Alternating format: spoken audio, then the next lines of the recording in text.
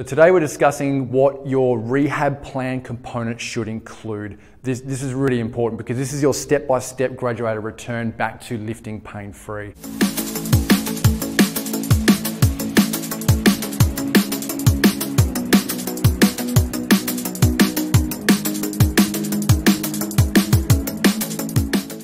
Hi guys, Ross here from Fieldwork Health. We're continuing on with our Return to Gym series.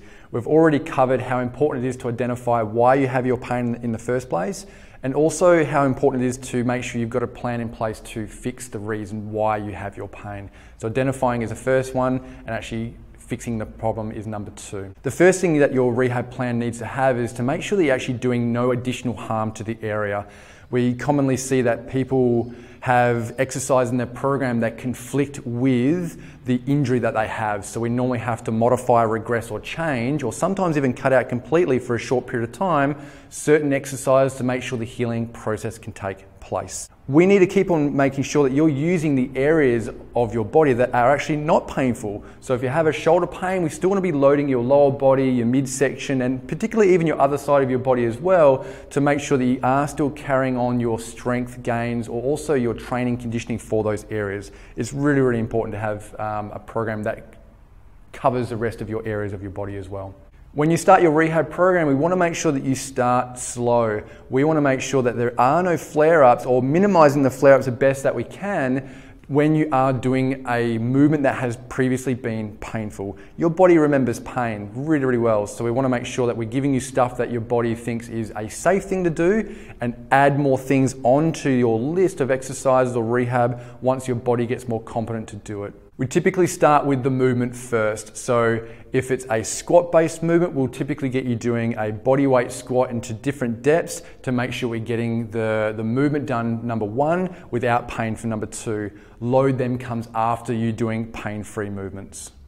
Start gradual. We want to see that you're on a daily or weekly basis that you're getting more and more things to do. If we skip ahead too soon or progress you too rapidly, we don't know whether that new movement or new load is going to cause you issues with your recovery timeframes of your problem. The next most important thing is to differentiate between what good pain feels like and what not good pain feels like. Good pain is things like DOMS, delayed onset muscular soreness, or training discomfort. You normally feel that the day after or two days after you've done a, a workout. That's what we classify as, as good pain. Not good pain is things that you have which is more irritation, aggravation of your existing problem. That can be referred pain down into um, certain areas where you had it before. It can be irritation, uh, heat or redness or swelling, those kind of things we want to differentiate between that type of pain because it typically means that what you've done in your program may have been a little bit too much at that particular day for that particular structure. And lastly, keep it simple, stupid to a certain extent.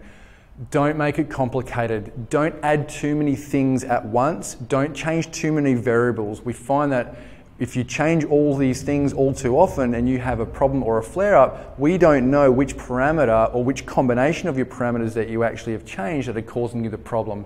For example, if you've done some simple exercises that you've done at about 50% loading, if you've increased the weight of all those exercises and added two or three additional exercises onto your program and also done two or three days worth of extra training in that week, we don't know whether it's an increase in the actual intensity, it's an increase in the number of exercises, or if it's an increase in the frequency that you've done that would potentially cause you a flare.